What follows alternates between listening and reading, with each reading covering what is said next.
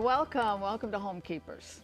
Come right on in, my friends. So glad to be with you today and hope things are going really good for you. I'm kind of excited. I get to see my son and his family tonight.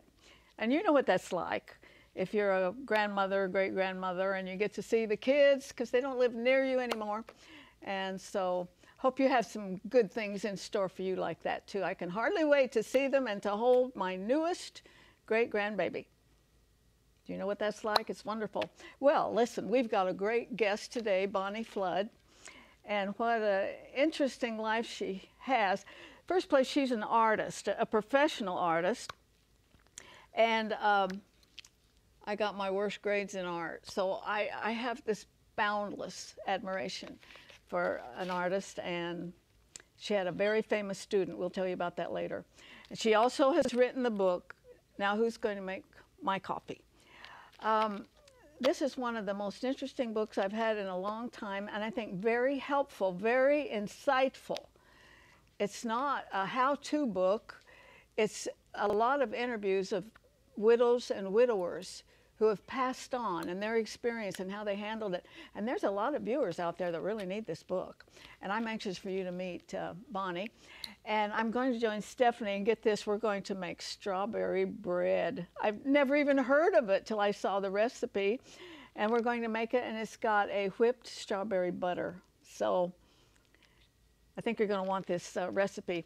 Uh, before I join her, though, I've been offering you this. What, uh, what on earth am I here for? This is a condensed version of that hardback by Rick Warren, who, and that book sold well over a million copies. It was so popular. It's such a wonderful book. Because that's a great question, isn't it? Why am I here? And uh, so if you didn't have that book, and most of you probably didn't, you can have it for any gift to the ministry, just write to me at box 6922 Clearwater, Florida 33758 or use that 800 number 1-800-229-0059 and uh, we will get it right out to you and thank you for anything you can do. We truly truly appreciate it. And I'm here now with Stephanie. And have this you ever heard of be good? No. Strawberry bread before? No, this is going to be delicious. Sure smells good. And we're like in the strawberry capital of the yes, United States, so we should know this. we should have. Yes. I wonder where it came from. Okay. Okay, so you're gonna, if you want to whip the butter, mm -hmm. okay. I have two cups of flour, a half a cup of sugar, a quarter cup of brown sugar, a half a teaspoon of salt and cinnamon, and then a teaspoon of baking soda. And I'm gonna I always have a problem with go. this. There, there you go. go. um, I'm gonna mix them all together. I put a little bit of sugar. You diced up strawberries mm -hmm. this mm-hmm. morning so beautifully. I put just a little bit of sugar in there. I think they just want them to get the, that juiciness. Yes. Yeah, so I'm just gonna mix, whisk these, the dry ingredients up. And, and all this, all this is is a uh, That's stick gonna, of butter. Yes, it's a stick of butter. It's two tablespoons of powdered sugar and a quarter cup of very uh, mm -hmm. good Strawberries. Strawberries. Well, you know, strawberries are so Finally. big here. We have a whole festival every year. Yes, it's coming up too. I'm excited. I'm going. And they have all kinds of entertainment. I bought myself tickets to a concert for Christmas. Okay, and which one? Yes, uh, you don't know them. and you don't know my singers either, yeah, so we're yeah, even. No. Okay, so. Okay, I'm going to let that just kind of get out of there. and. Okay, I've whisked that all up. I'm going to get a mm -hmm. fork to beat the eggs with. And this is what you put on the finished product. I can't wait to try the butter. Oh, I know. Excited. Okay, so let me beat up these two eggs. I'm going to put oil, half a cup of oil, and a tablespoon, a teaspoon of vanilla in. Then I'm going to mix it all together with the strawberries and put it into a sprayed loaf pan. Well, our regular viewers know that I am a tea drinker. Yes. I believe it's because my mom's British. Yes. Um, you are related to the Queen somehow. I know. Yes. and I wonder if I'm in her will, you think? Mm. Uh, and so I, with my tea, I love a good quick bread. This is really gonna, good. Like this is going to be with your tea, with my coffee. This mm -hmm. is going to be my mm-hmm. dessert. Oh. this will be my dessert after lunch. I just had soup for lunch, so. Well, Stephanie and I are the early birds around here. So we kind of have. Well, you have a cup of coffee before you come, right? That's the first button I push when I get up in the morning. I wander out to the kitchen and I push that button. Mm-hmm. Because I love it. Okay, so I'm going to mix the wet and the dry and the strawberries, okay? And then I'm going to mix it all together. Now, you bake it for an hour, and it's truly an hour. Mm-hmm. So don't shortcut it because you're going to be sad because the inside's, the outside will look perfectly done, and then you'll cut in the middle and it won't Yeah, be done. it'd be. So it's truly an hour, so. Would you turn this over and do it on the other side, or would you just put it on the top? Okay. Yep. Oh, wait, you didn't mix the strawberries in. Oh, I need you, girl. Don't ever leave me. It's strawberry butter. Mm-hmm. Remember one day, I think at Christmas time, we made flavored butters. Yes. Uh, Wanda made one, I made one, and you made one, and we got a lot of requests for those. Yes. Yummy. Because I always think if you you are visiting someone Yes. and they have one thing that's a little different, that's what they'll remember. They Mm-hmm. Won't remember the meat that much, but they might remember a. Something that's a little different. And if you make this and you let it chill for a little while, Ooh. Mm-hmm. and like those flavors really get together. Oh, How you? what are you doing? I put it on there. No, you slice it and You then you put it and on put it on the slices. that would never have entered my mind. But why couldn't you do it my way? I mean, you could. sure you could. Sure, you could. It's Arthelene Rippy's show. She was That's doing it uh, just fine. you know what? That was my creative side. that, yes. Mm-hmm. Okay, we'll leave that on there. Okay, there you go. Yes. Uh-huh. I would, I would put a whole hunk on there. yeah. Um, That looks so. don't you think the uh, cream cheese would be good too? Oh yeah, especially strawberry cream cheese. Mm-hmm. That would be so good. I wouldn't even put the the powdered sugar in that. I would just do cream cheese and strawberries. Right. Yes. Yeah. It only had two tablespoons of the Powdered sugar. powdered sugar anyway, Yeah. so Okay. We're ready. there right? you go. Okay, let's taste. There's for you. Thank you. Oh, it looks. I wanna get a so- It looks like tomatoes, but it's not. It's strawberries. Mm. There are no words. We are speechless. I can't even talk. It's so good. She's having an experience. it is a ten. I know when I saw It is this recipe, I thought, I've never heard of strawberry Oh, bread. It's so good. I need a cup of coffee. okay, Hurry, go. Calm down. Yeah, uh, we got to let her go get her coffee.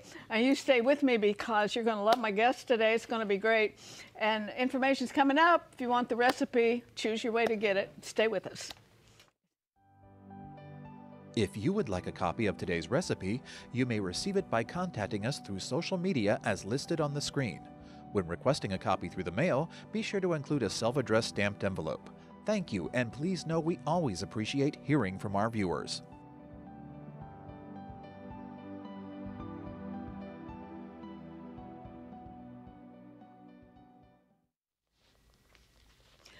All right. I'm anxious to introduce my guest to you today, and one reason is because I so, I don't know, I so admire an artist and even somebody with really good penmanship, which I do not have. You who received letters from me know that.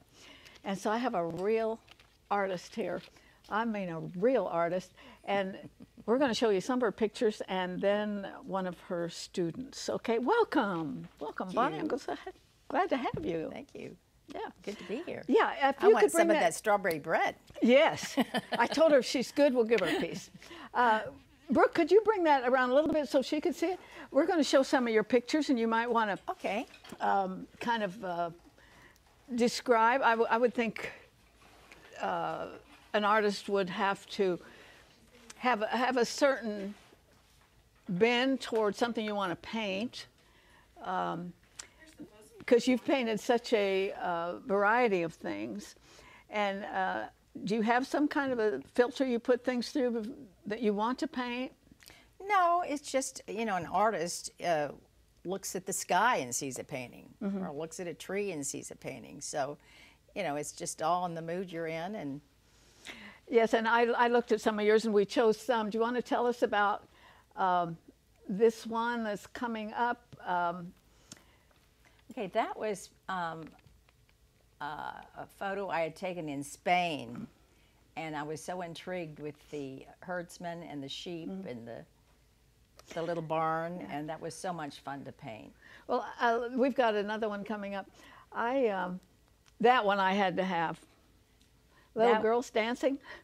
That one was. Um, I don't know the girls, but it was at the beach, and they were so beautiful, and I photographed that and painted it later.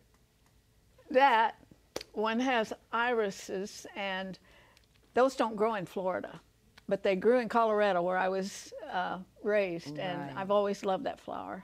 Uh, that was a plein air painting, which means you paint it outside, go outside and paint it. Uh, that's a Mm-hmm. That barn one. in North. Does that have a story? Pardon me? Does that picture have a story? I don't know who has the barn, but I just loved it so much. I like barns. you Uh-huh. I know, I like was drawn to old. You know, and I- now I- we have a picture of one of your students. okay, Yeah. okay. President of the United States, no less. Right. What was that like, Bonnie? Well, that was very interesting. Uh-huh. It was really a shock that I was even asked to do that. You know, there are thousands of artists all over the country, and And he chose you, or he. right? Mm-hmm.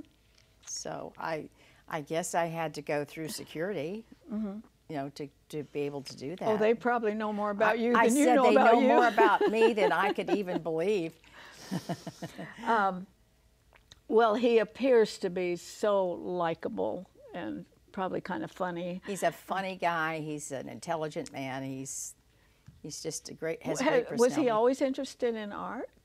I don't think so. I think he he read Winston Churchill's book, and uh, he was a great artist, and Mm-hmm. I think that inspired him, and he wanted to do it. And I think anything he sets out to do, he does it well. So I've seen some of his uh, or pictures of his paintings, and I was impressed. I, I just Yeah, didn't think a he's kind really of a cowboy along- from Texas.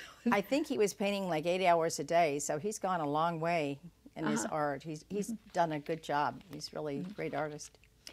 okay, let's talk about your book. And uh, the website will be going up. Can they get the book through the website or They can get it through um, Amazon, Amazon, okay. Barnes Noble. Okay, the regular places. The title is Now Who's Going to Make My Coffee? I understand uh, your husband passed away, what, three, four years ago? Be three years in July. And did he make your coffee? He made my coffee every morning for 31 years. Mm-hmm. To the point where when he passed away, I didn't know how to make coffee. So I bought, went out and bought a new coffee pot, thinking that one, something was wrong with it.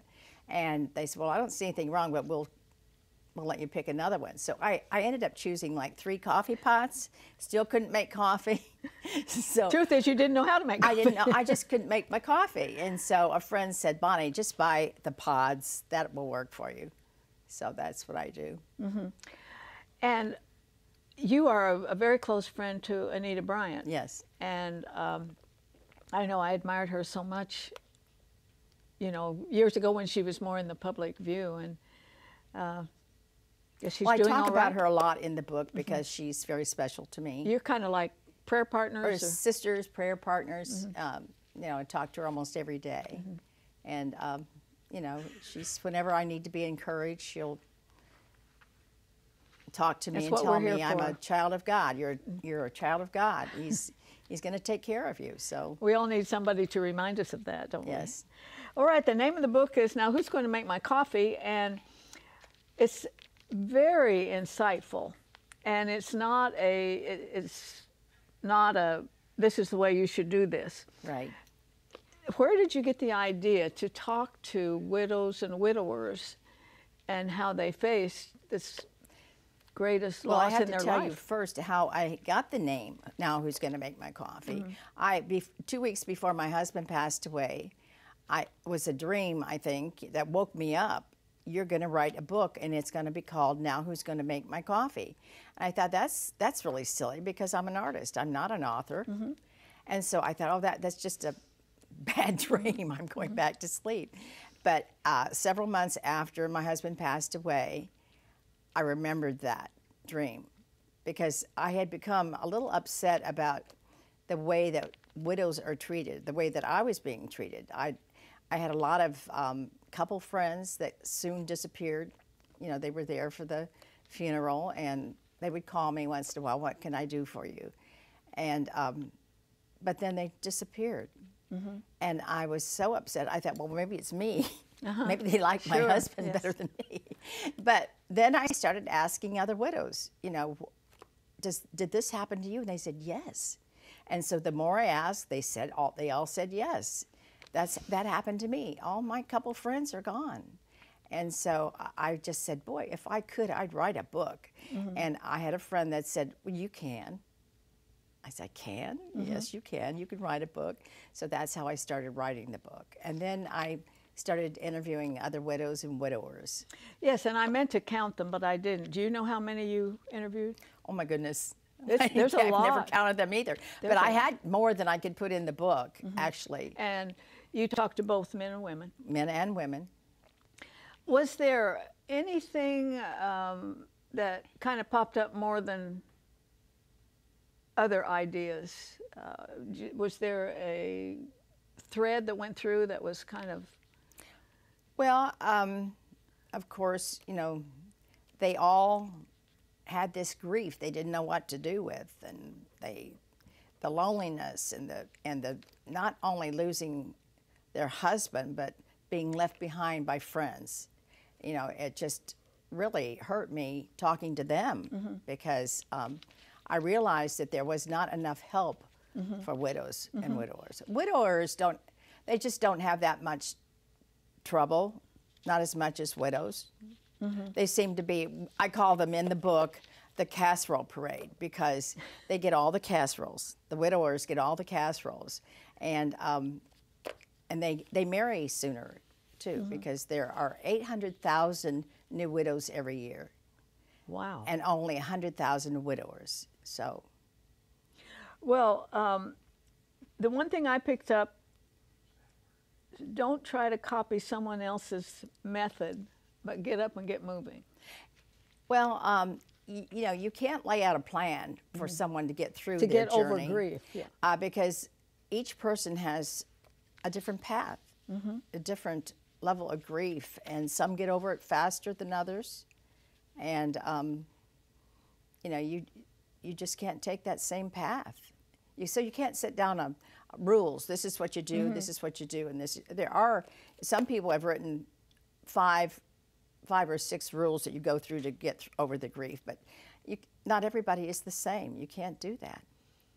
And and so what your book really tells, and, and I wish I had the number, but there are- there are a lot of interviews in here, and very very interesting of people that just said, well, this is what I did, and Uh, well, one lady, it's not a how-to book. Right, no, but one lady, she she laid out several uh, ways to get over her grief. I think I. Um, I think there were like she had like ten ways to Yes, get I've over got her it grief right here. because.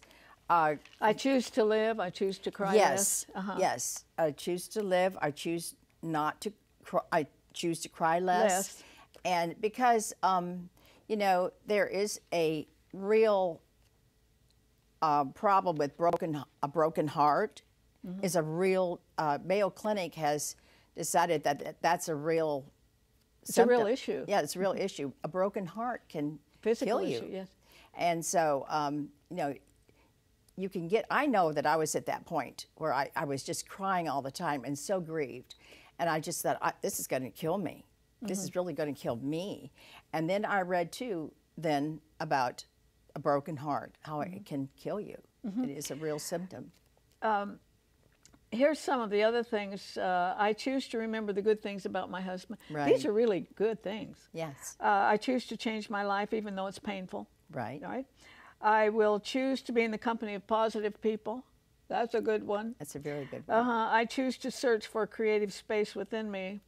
Um, try new things. Right. You have to become a, a different person because when you lose a spouse, you lose part of you. Sometimes you lose your identity because your whole identity was in your husband. You know, you were uh, Mrs. Jones, the wife of Mr. Jones, and now now all of a sudden you're just Mrs. Jones, Yeah, and you don't Jones, have that identity anymore. To and, Uh, here's a good one. Um, I choose to make myself healthy again because Right. if people get up and get moving, it risks the, raises the endorphins in your brain, and you're going to have a lot better sense of right being. And, and then too you know if you are a caregiver during maybe your your husband's or your spouse's uh, illness Mm-hmm. you neglect yourself you neglect going to the doctor the dentist and neglect getting checkups like Mm-hmm. you should so so when your spouse dies you know you're you're more apt to there are more deaths you know i forget now what the percentage is 60% a couple months after their spouse dies will die also because of just not just the grief, but that they have not taken care of themselves. Uh, you list a couple in here who, um, widows who didn't know much about the family finances. Now, doesn't that add a whole other layer of? Well, I'm Grief, number one here. I, you know, two weeks before my husband passed away, he he told me, he said, "Honey, I I hate really hate to tell you this, but I made an investment, and I've lost everything, and I'm quiet for a little while." and I said, "That's okay, honey. I'll be all right." And then I would go away and I'd cry a little bit because I knew what was coming, and so that was really hard. But But I my- think you said the right thing at that moment. no, I wanted, he- No he was the most important thing at that moment.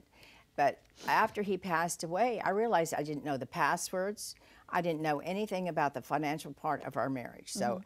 I put in this book the one thing you must do if you have not even lost your spouse yet to make a list of you know your banks all your valuable, passwords and all those things that's a number one thing you must do Yeah, and uh, God bless you for doing that because um, uh, your situation now is going to help other people.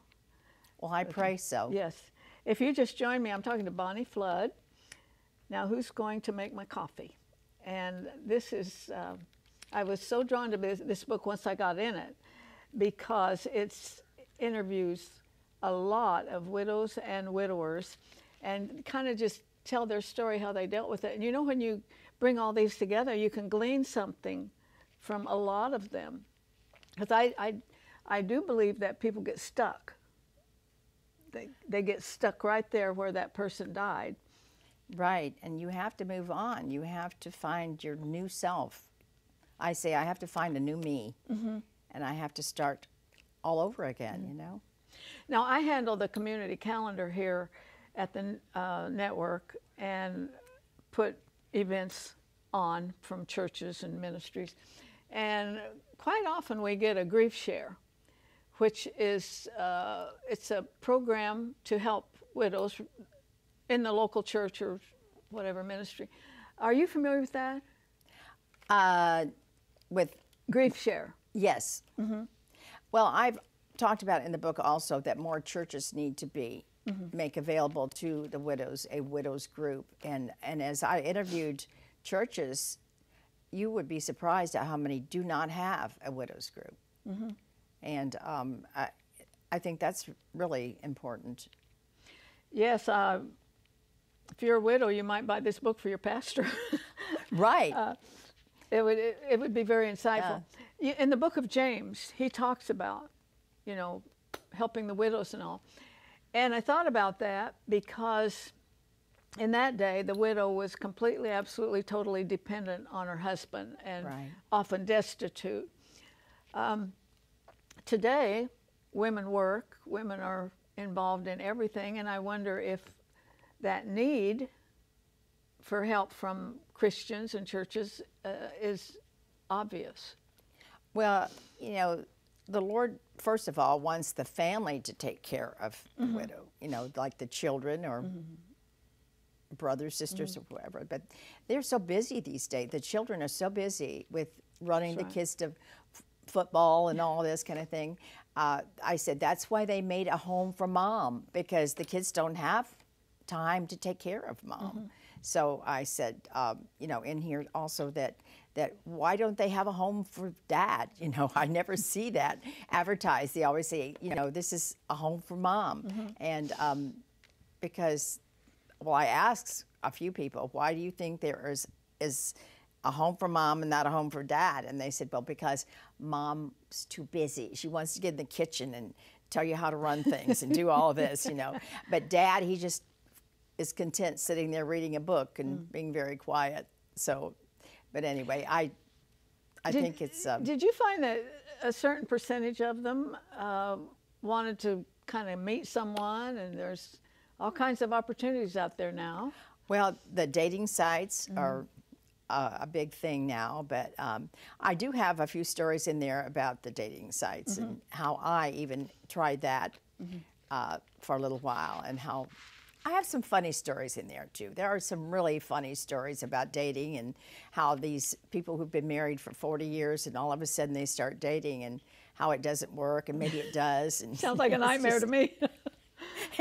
it, it was, some of them it was a nightmare, but there are some really funny stories. Uh, one uh, one gal said she was going to meet this man at uh, Starbucks to have coffee, so she thought she'd go early and wait for him to come through the door. She had seen a picture of him, so he came in, but there was a young man with him and a young woman with him, and. She thought, this is strange. And he came up to the table and he said, This is my daughter and this is my son. They've come to make sure that I'm okay, that I don't get into trouble. And she went, I don't think so. I'm just here to have coffee. You Not know, interested. Not interested. yeah, I have about one minute left. Can you think of one thing in this book, and uh, can't really can't recommend it highly enough, that spoke to you personally? Well, as I wrote the book, it was healing for me. It was like journaling. And it was just so healing for me that I felt like when I finished that I had gone through, uh, you know, some things on my journey just by writing it down. But, but the most important thing is I want to tell the women out there, you can make it. You know, when, when your husband dies, you think life is over. Don't just sit there. Get up and go do something, volunteer or do something uh, to help in the community. Because when you're helping others, you're helping yourself. And um, just try to keep busy. I mean, I had to start all over again. I had to really start my art again to financially take care of myself. But a lot of people don't have that. So, but go on with life. You know, you're here. God left you here for a reason. That's that's a good place to. Yeah. And again, the name of the book is now Who's Going to Make My Coffee? Um, I have a sense that male or female watching right now, a lot of you have really identified with what she's had to say. And she said, God's still got you here for a reason. Find out what it is. And join me next time, remembering there's no higher calling than that of a homekeeper. God bless you. If you should miss a Homekeepers program, you can catch up by going to www.ctnonline.com. Click on CTN Programs and then on Homekeepers.